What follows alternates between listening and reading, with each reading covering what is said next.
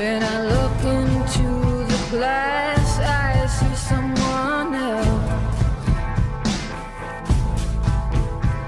I hardly recognize this face I wear. When I stare into her eyes, I see no